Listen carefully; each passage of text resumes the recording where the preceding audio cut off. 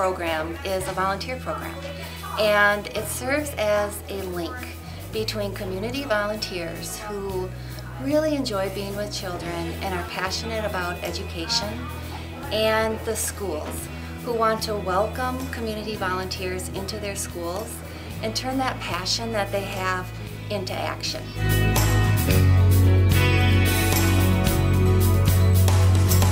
Learning Buddies create a wonderful environment for our kids. First of all, by providing that special bridge between uh, an outside interested individual who can come and help.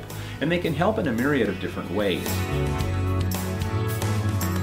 At Flint Hills Resources, it's our goal to be the best corporate citizen that we can be, and we do that in a variety of ways each day. We do it through our safe workplace practices, we do it through our environmental initiatives, and we do it through our community partnerships. As a Learning Buddies volunteer, I am lucky enough to be with kindergarten children. It started out that I would read to them, and it has progressed to they read to me.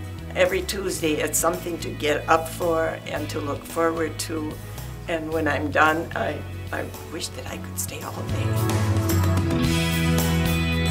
An experience that um, I remember is I had this one little girl who was so, so very shy and just very unsure about school. And Laurel just would come in and, and take her by the hand and, you know, just say, hi, how are you?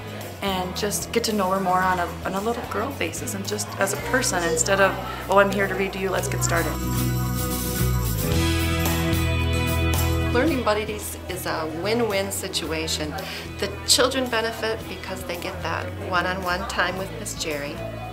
They get to read and they have someone who gives them their full attention for that amount of time. I know that the program works uh, when I transition around the building and walk into pods and I see the learning buddies working with individual students or small groups and the engagement that the kids have with the learning buddies, the smiles on the faces.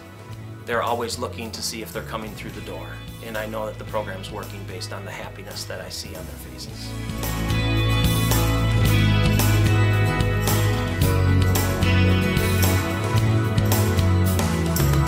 And what's satisfying is to run across one of my former students five, six, seven, eight years after I had them in first grade.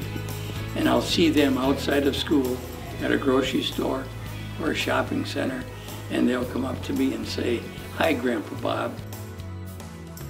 It's great to be a learning buddy. It keeps me, it keeps me going.